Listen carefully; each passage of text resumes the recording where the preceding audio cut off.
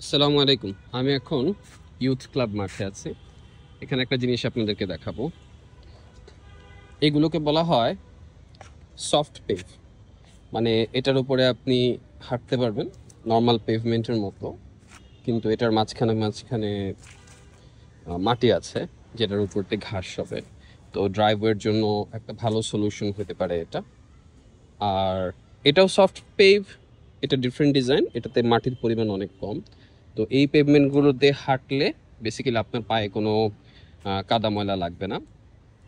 কিন্তু যথেষ্ট পরিমাণে গ্যাপ এখানে আছে। সফট পেভের মূল উদ্দেশ্য থাকে সূর্যের যে হিটটা আসে, সেই হিটটা যেন অ্যাবজর্ভ করতে পারে মাটি। কারণ মাটি যত সহজে অ্যাবজর্ভ করতে পারে কংক্রিট কিন্তু সেটা অ্যাবজর্ভ করতে পারে। এটা হচ্ছে পয়েন্ট নাম্বার ওয়ান আর পয়েন্ট নাম্বার টু হচ্ছে পানি। সফট পেভের উপরে যখন বৃষ্টির পানি পড়ে, তখন এই ছিদ্র দিয়ে পানিগুলো নিচে চলে যায়। তো আপনার যেই পরিমাণ ড্রেনেজ বাস্তবে দরকার ছিল, দেখেন এখানে সফট পেভে কত সুন্দর ঘাস উঠে ভরে গেছে। সো এই জায়গাটাও লিটারেলি বৃষ্টির সময় আপনি হাঁটতে পারবেন, আপনার পায়ে কাদা লাগবে না। বাট স্টিল এখানে প্রচুর পরিমাণে ঘাস হচ্ছে, যেটা বেসিক্যালি নর্মাল মাটিতে পসিবল নেই জায়গায় কিন্তু কাদা হয়ে যাবে। তো যেটা বলছিলাম পানিগুলো এই মাটি দিয়ে নিচে চলে যায়, যার কারণে যত বড় ড্রেনের দরকার ছিল সেটা হয় না, মাটি এটা অ্যাবজর্ব করে।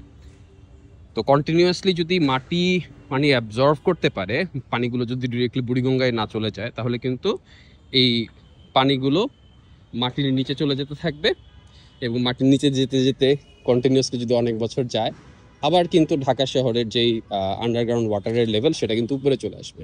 আমরা জানি ঢাকায় বা ঢাকার আশেপাশের জায়গাগুলোতে মিষ্টি পানি অনেক অনেক নিচে গিয়ে পাওয়া যায়। তো এটা অনেক বড় একটা প্রবলেম তো soft pave can be a very good solution সরকারের পক্ষে আসলে এতটা সুপারভাইজ করা পসিবল ইটস ইম্পসিবল হ্যাঁ বাংলাদেশের মতো ছোটো একটা কান্ট্রি যেটা এখনও হাইলি ডেভেলপিং ফেজ এবং বিভিন্ন জায়গায় দুর্নীতি। তো পসিবল না যে সবগুলো বিল্ডিংয়ে এগুলো চেক করবে যে গ্রিন স্পেস রেখেছে কিনা। তো আমাদের নিজেদেরই উচিত বিল্ডিংগুলোর যেই জায়গাগুলো বিল্ডিংয়ের চারপাশের যে জায়গাগুলোতে সরাসরি বৃষ্টি পড়ে, সেই জায়গাগুলোতে ঢালাই না দিয়ে সেখানে সফট পেভের ব্যবস্থা রাখা যদি দিতেই হয় গাড়ির ব্যাক সাইডগুলো আর সবচেয়ে ভালো হয় যদি গ্রিন রাখা হয় বা ঘাস রাখা হয়। তো প্রপারলি প্ল্যান্টেশন করে কিন্তু এই কাদামাটি হয় না, এরকম ঘাসও লাগানো পসিবল আর ফাইনালি সফট পেভের যে সুবিধা সেটা হচ্ছে গ্রিন এটা তো আসলে সাইড ইফেক্ট গ্রিন কিন্তু এখানে কোথাও ইচ্ছা করে লাগানো হয় নাই। এই পুরো জিনিসটা আসলে সাইড ইফেক্ট হিসেবে আসছে। যে যেহেতু বৃষ্টি পড়তেছে এবং দেয়ার ইজ মাটি সো ঘাস কিন্তু অটোমেটিক আসে। এটা বাংলাদেশের সবচেয়ে সবচেয়ে ভালো যে বেনিফিট এটা হাজার হাজার কোটি টাকার বেনিফিট এটার মূল্য আমরা আসলে বুঝি না। সো দুবাই বা সৌদির লোকজন এটা খুব ভালো বুঝছে যে ঘাসের কত দাম যেটা আমরা get for free that's why maybe যে আমরা আসলে এটার মূল্য করতে পারি না তো যাই হোক, এই ছিল সফট পেভ তো আমরা যেটা জানলাম সফট পেভ হচ্ছে ওই সমস্ত পেভমেন্ট যেখানে পারফোরেশন থাকে, মাটি থাকে এবং এখান দিয়ে এটার দুটো বেনিফিট আমরা জানলাম।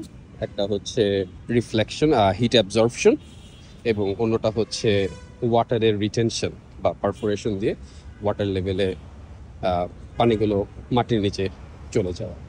আর সাইড ইফেক্ট হচ্ছে এখানে অটোমেটিক প্ল্যান্টেশন হয় ফর বাংলাদেশ স্পেশালি আর আমাদের কি করা উচিত? যেখানে যেখানে পসিবল সফট পেভ তৈরি করা। এটা খুবই সিম্পল এই ঢালাইগুলো দেওয়ার সময় মূলত আপনি ভেতরে ছোট ছোট পাইপ দিয়ে দিতে পারেন। এরা যেটা করেছে সেটা হচ্ছে মিরপুর সিরামিকের যে জালিগুলো পাওয়া যায়, সেই জালিগুলো দিয়েছে। So different kind of designs can come তো, এটা নিয়ে অনেক ক্রিয়েটিভিটির সুযোগ আছে। তো আজকে এতটুকুই। Thank you